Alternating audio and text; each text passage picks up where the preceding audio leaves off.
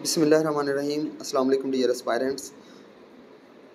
CSS 2016 Pakistan Affairs question 5. Write note on the post 9/11 foreign policy of Pakistan. What role do you foresee for Pakistan in regional and global politics in the in the near future? Introduction. The post 9/11 foreign policy of Pakistan was shaped by the country's strategic position in the region and the global war on terror.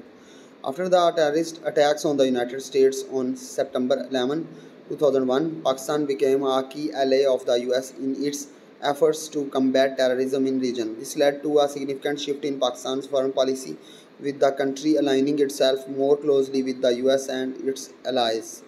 Under the leadership of General Pervez Musharraf, Pakistan provided crucial support to the US-led coalition in Afghanistan, including allowing US troops to use Pakistani territory for logistic purposes. Pakistan also launched a military operation against militants in its own tribal areas, which had become a safe haven for terrorist groups.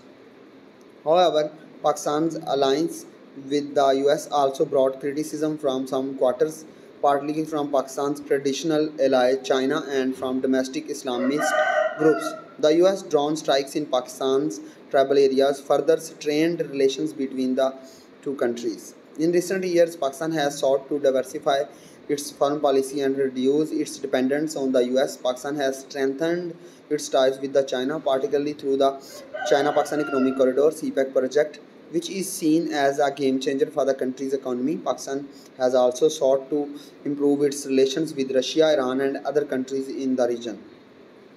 In the near future, Pakistan is likely to country, continue to uh, continue to play a significant role in regional and global politics. Pakistan's uh, country's strategic location and its growing economic and military power make it an important player in the South Asia and beyond.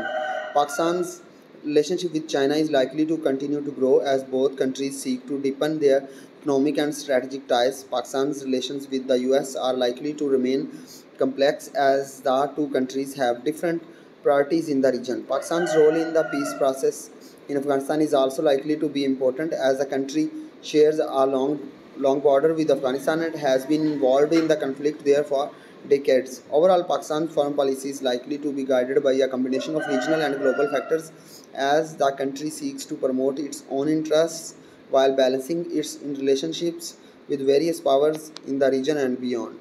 Thank you for watching. मिलते हैं next topic में अल्लाह हाफिज़